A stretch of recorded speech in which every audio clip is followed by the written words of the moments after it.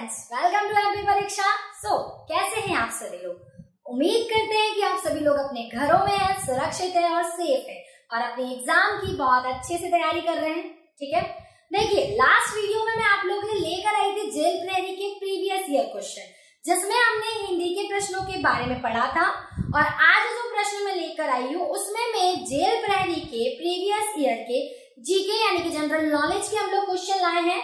तो आज की क्लास में हम लोग देखने वाले हैं जनरल नॉलेज के क्वेश्चन तो सभी अपने दोस्तों के साथ ये वीडियो शेयर कर दीजिए और स्टार्ट करते हैं हमारे जनरल नॉलेज के क्वेश्चंस जी हाँ तो चलिए, आज का जो लेक्चर है, उसमें हम लोग देखेंगे थर्टी सितंबर यानी कि तीस सितंबर 2019 में जो एग्ज़ाम हुआ था, उसका फ़र्स्ट शिफ्ट का पेपर तो पहला जो प्रश्न था, वो ये था, किसने मेरसिन तुर्की में फिंग artistic gymnastic world challenge cup के वॉल्ट इवेंट में स्वर्ण पदक जीतते हुए प्रथम भारतीय जिम्नास्ट बनकर इतिहास रचाया। अब देखिए, ये जो क्वेश्चन है, ये क्वेश्चन है करंट अफेयर से। तो आप लोगों को यहाँ से क्लियर हो जाएँगी चीज़ें कि जीके में हमें इस तरह से करंट अफेयर से प्रश्न पूछे जा सकते हैं। इसके ऑप्शन थे A Sushil Kumar B Ashwini Nachappa C Dipa Karmakar और डी अरुणा रेड्डी। तो ये करंट का क्वेश्चन था और इसका जो सही उत्तर था वो दीपा कर्माकर था, क्योंकि दीपा कर्माकर प्रथम भारतीय थी। इस तरह की जो जिम्नास्ट थी। चलिए, अगला देख लेते हैं। अगला है संयुक्त राष्ट्र महासभा, यूएनजीसी ने 21 जून को निम्न रूप से क्या घोषित किया? ए, अंतर्राष्ट्रीय योग दिवस, बी, अंतर्राष्ट्रीय चिकित्सक दिवस, सी, विश्व पर्यावरण दिवस, डी, अंतर्राष्ट्रीय स्वास्थ्य दिवस। तो इसका जो सही उत्तर है, वो ये है कि अंतर्राष्ट्रीय योग दिवस के रूप में 21 जून को यूएनजीसी ने घोषित किया है। ठीक है? अगला प्रश्न देखते हैं। अगला है, निम्न में से किस सिंचाई प्रणाली पर मध्य प्रदेश सिंचाई क्षमता सुधार परियोजना केंद्रित है? ए, सागर नदी मध्यम सिंचाई परियोजना। बी ओमकारेश्वर मेजर सिंचाई परियोजना। सी बुंदला माध्यम सिंचाई परियोजना और डी कुंडालिया सिंचाई परियोजना। और इसका सही उत्तर था कुंडाला सिंचाई परियोजना, जिसको हम बोलते हैं कुंडलिया भी बोला जाता है, कुंडलिया सिंचाई परियोजना। अब देखिए, ये जो तीनों प्रश्न हमने देखे, ये कहीं ना कहीं करंट अफेयर से रिलेट थे। तो आपको यहाँ पर ये अंदाज़ा लगा लेना है कि हमें अपना करंट अफेयर जो है, वो बिल्कुल बहुत ज़्यादा स्ट्रॉन्ग रखना है क्योंकि करंट अफेयर से एग्ज़ाम में क्वेश्चंस बन रहे हैं, ठीक है? चलिए तो आगे बढ़ते हैं।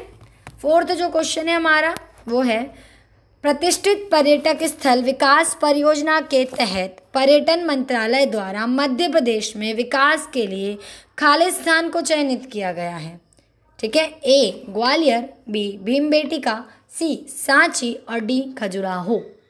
और इसका जो सही उत्तर है, वो है खजुराहो।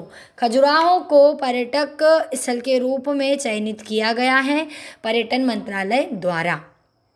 अगला प्रश्न था, निम्न में से किस योजना के तहत प्रति बूंद अधिक फ़सल अवधारणा आती है? यहाँ एक चीज़ आप नोटिस कर रहे होंगे, योजनाओं के बारे में ज़्यादा ध्यान दिया जा रहा है। योजनाओं के बारे में ज़्यादा से ज़्यादा क्वेश्चंस बन रहे हैं।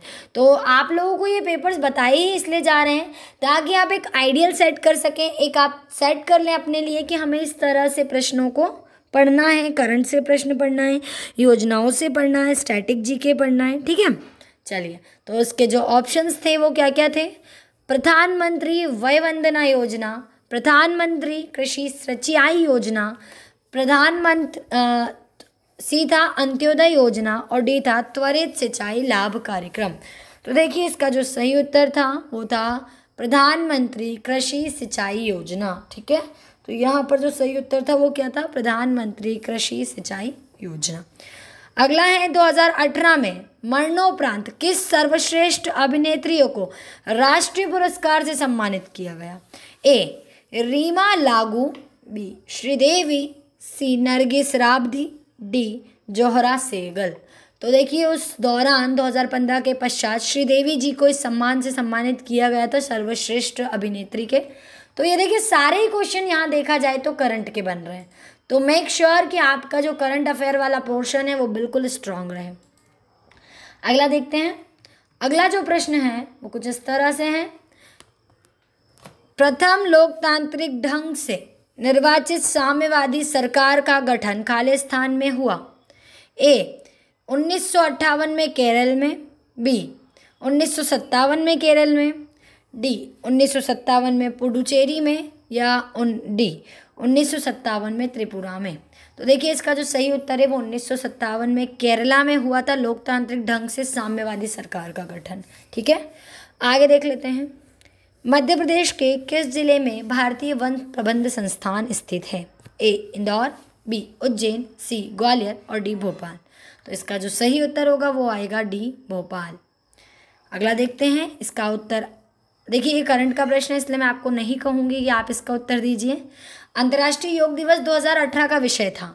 अब यहाँ 2018 का पूछा है पेपर आपका इस साल हो रहा है तो हो सकता है वो आपसे 2020 का पूछ लें, या हो सकता है 2019 का भी पूछ लें।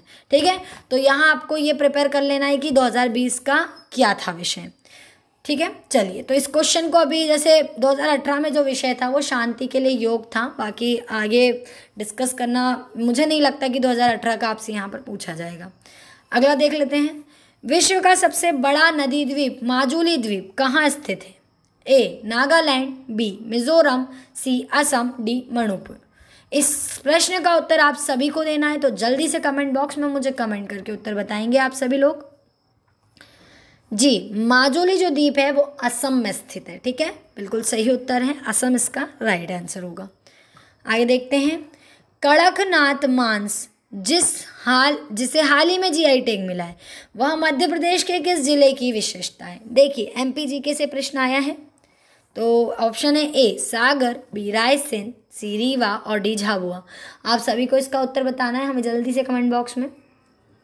बिल्कुल सही। झाबुआ जो है वो इसका सही उत्तर है। जो कड़कनाथ जो ब्रिड होती है मुर्गे की, वो कहाँ से मिलता है? झाबुआ से मिलता है, ठीक है? चलिए, आगे देखते हैं और अगला जो प्रश्न है, वो हमारे पास कुछ इस तरह से है। भारत की पहली high speed bullet train Mumbai और खालिस्तान के बीच दौड़ेगी। A, Goa, B, Ahmedabad, C, Bengaluru, D, Pune. तो इसका जो सही उत्तर है, वो होगा अहमदाबाद। हाई स्पीड ट्रेन जो है वो अहमदाबाद और मुंबई के बीच दौड़ेगी।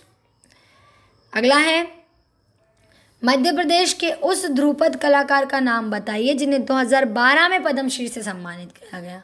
अब देखिए यहाँ 2012 का भी आपसे प्रश्न पूछ लिया गया है। तो आपको सभी सालों का जो करंट अफेयर है, उस पर जो बहुत ज़्यादा जैसे पद्मश्री पद्म विभूषण तो इन पर आपको अपनी एक नज़र ज़रूर रखनी है, ठीक है? चलिए। तो यहाँ पर इसका जो सही उत्तर हो जाएगा, वो क्या होगा? पहले ऑप्शन देख लेते हैं। ए मोहन शुक्ला। बी सुलभा और Manoj Saraf. B P V Kahu. D Gundecha बंधुओं। और जो इसका सही उत्तर था, वो है गुंदेचा बंधुओं। देखिए, ये तो काफ़ी पुराना क्वेश्चन हो चुका है, लेकिन फिर भी हमें याद रखना है, ठीक है? अगला है, होशंगाबाद में उस कंपनी का नाम बताइए जो बैंक नोट और सुरक्षा पत्र बनाती है। A currency note press B India security press C Bharat Sarkar mint Indian government mint भी जिसे कहते हैं, और डी सिक्योरिटी पेपर मिल इसका उत्तर आप सभी को जल्दी से कमेंट बॉक्स में हमें कमेंट करके बताना है, ठीक है? जी हाँ बिल्कुल सही, इसका जो उत्तर है, वो होता है सिक्योरिटी पेपर मिल जहाँ पर बैंक नोट और सुरक्षा पत्र बनते हैं। अगला प्रश्न है भारत सरकार द्वारा निम्न उद्देश्य के लिए स्वतंत्र मूल्यांकन कार्यक्रम बनाया गया। ए, सार्वजनिक क्षेत्र की कंपनियों के लेखा परीक्षा का आयोजन करने हेतु। बी, कुछ प्रमुख कार्यक्रमों की सार्वजनिक जवाबदाही में वृद्धि हेतु। सी, जनता से पूंजी संसाधन बढ़ाने हेतु। डी, राष्ट्रीय खातों का एक स्वतंत्र मूल्यांकन कार्यपालन करने हेतु। तो इसका सही उत्तर जो होता है, वो होता है कुछ प्रमुख कार्यक्रमों की सार्वजनिक जवाबदाही में वृद्धि हेतु ये कार्यक्रम बनाया गया है, ठीक है? अगला देखते हैं। शासन के स्वच्छ सर्वेक्षण सर्वे 2018 के मुताबिक। आप देखिए, ये प्रीवियस ईयर है, इसलिए यहाँ 2018 की बातें की गई हैं। अगर अभी की कंडीशन की मैं बात की जाऊँ तो वहाँ आपसे 2020 का डेटा पूछा जाएगा। तो आपको श्योर करना है कि 2020 का जो हमारा डेटा है, वो पूरी तरह से कंप्लीट रहे। ठीक है? चलिए तो यहाँ पर पूछा है कि किसे 2018 में रैंक दी गई थी? पर हमें याद रखना है कि हमसे वो 2020 पूछने वाले हैं, ठीक है? तो यहाँ पर ऑप्शंस थे A Indore B Jabalpur C Gwalior और डी भोपाल। तो उस समय जो दूसरा स्थान प्राप्त हुआ था, वो भोपाल को हुआ था और प्रथम स्थान जो प्राप्त हुआ था, वो इंदौर को हुआ था। आपको 2020-2019 का डेटा कंप्लीट रखना है, ठीक है?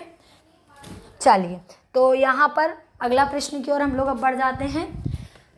अगला जो हमारा प्रश्न था, वो क्या था?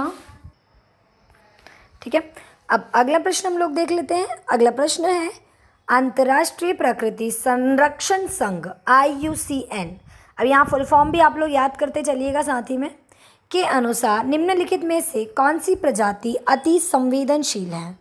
A, spot billed pelican, B, great Indian bustard, C, जंगली उल्लू या डी लेसर फ्लोरिकन तो यहाँ पर आएगा कि जो सबसे ज़्यादा अति संवेदनशील है, वो है स्पॉट बिल्ड पेलिकन ठीक है? देखिए, अगला प्रश्न देख लेते हैं, फिर मैं आपको सारी चीज़ें एक साथ बताने वाली हूँ। मध्य प्रदेश में निम्नलिखित में से कौन सा खनिज मलाजखंड खदान में पाया जाता है? या मलाजखंड खदान से संबंधित है? ए, तांबा, बी, मैग्नीज, सी बॉक्साइट या डी, चूना पत्थर। तो इसका जो सही उत्तर है मलाज खंड में मध्य प्रदेश में तांबा निकाला जाता है। कॉपर बहुत ज़्यादा निकलता है वहाँ तो वहाँ पर होगा तांबा सही उत्तर। अगला प्रश्न है, निम्न में से कौन सा राज्य भारत में यूके द्वारा डीएफआईडी अंतर्राष्ट्रीय विकास विभाग, जिसे हम बोलते हैं डिपार्टमेंट फॉर इंटरनेशनल डेवलपमेंट के केंद्रीय राज्यों की सूची में नहीं है। A, Odisha, B, Madhya Pradesh, C Rajasthan और डी बिहार।